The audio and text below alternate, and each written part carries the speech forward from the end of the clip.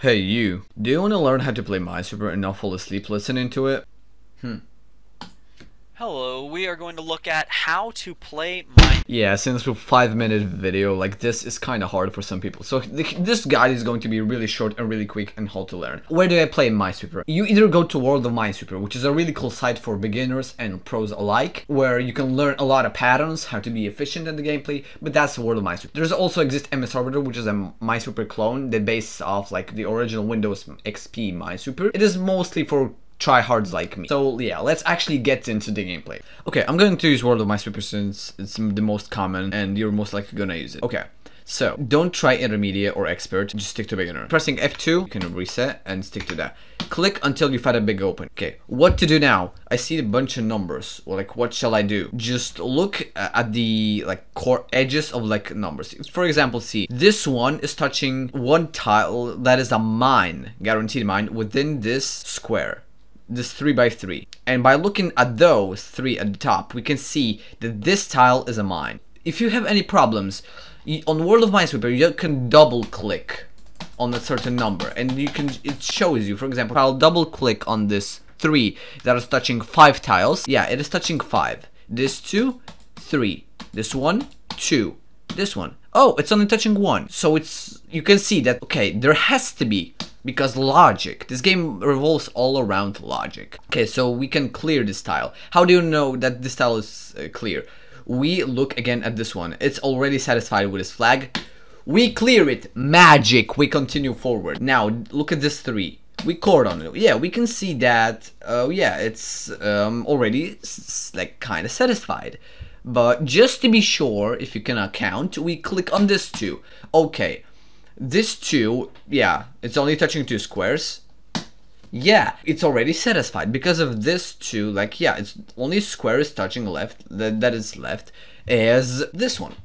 And now, after two is three, and now that we learned that, we can advance our counting abilities. And you can see that here is a three here, it's touching the third one. You click on it, because like logic. And since this three is already satisfied with all of those uh, mines, we chord on it or just left click. There are two ways of clearing tiles, either chording or clicking them normally. Chording is when you press left and right on your mouse or middle mouse, but don't use middle mouse, use left and right. You're just gonna get used to it easier, it's gonna be easier for you. So double click or just left and right on this three since it's already satisfied with those flags. Chords don't work, for example, if this three doesn't have, I'll show you what chord is in a second. If you look at this three, it's they don't work if the number is not satisfied fully. But if this three, yeah, it's touching those uh, three tile like mines, and since three has to have three mines, shockingly touching it. If we click, double click on it,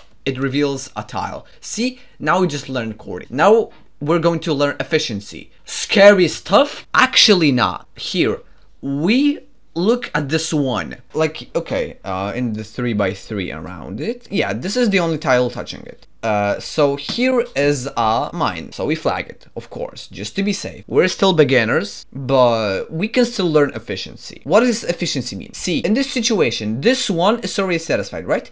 If we double click on it, see, it clears three tiles. If you, we would have uh, like done it with left clicks, so the regular way, um, it would have taken us three clicks. See, one, two, three. I did it with right clicks since I don't want to complete them. But if we do it with the chord here, we can actually we don't have to do an extra click. So we're saving ourselves time and being more efficient. We're thinking more. This is one of situation like this. So if you do this, we save an extra click. But don't worry about efficiency. I'm just learning teaching the basics. You don't have to learn it uh, like at the start.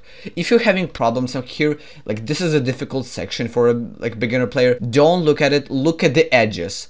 There are so many possibilities here. See, now we're gonna teach one-to-one. -one. The possibly the most important pattern in all of Minesweeper. Well, it's the most commonly seen. See here as a one-to-one. -one. How does it work? Okay, so it, this one touches only two tiles, right? One, two, right? Okay, now this two, it has two bombs in it right? Duh. So, and since this one has one here, remember, one is in here, and since, like, look at this one. this one has also one in here. So it cannot be like this because remember, two needs two bombs because then this one would be a two.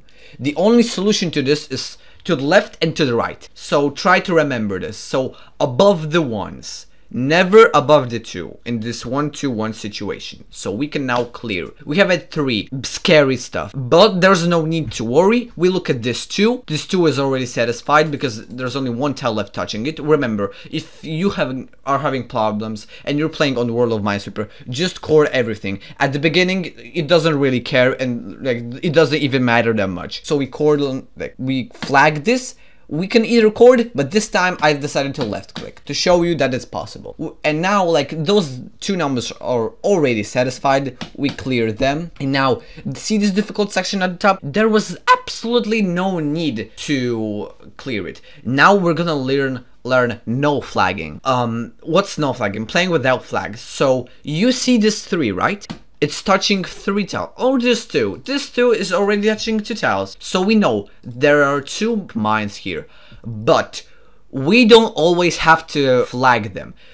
If your brain is strong enough, then you, you remember that there are two mines here, so you can just simply click those two tiles. Why? Because of this two, like it's touching four, but we already established that this two is already like touching two, and since this two only yeah, two mines. Duh, we can clear those two. All those. That's your first Minesweeper. Go ahead and become the Grandmaster that you always wish to be.